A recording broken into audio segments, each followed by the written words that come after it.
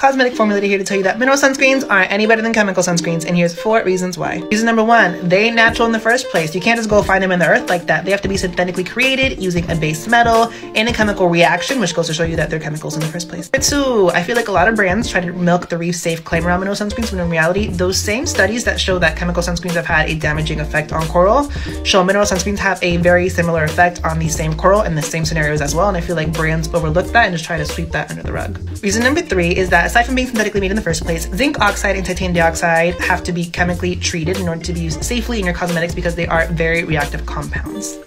And that's just a regular skincare products. To be used in sunscreens, reason number four, they have to be chemically coated as well in order to be able to be evenly and uniformly distributed throughout the entire sunscreen product. If that doesn't happen, you're not getting adequate protection from your sunscreen and it's basically not doing anything for you. Make sure to like, leave topic suggestions in the comments, and follow for more.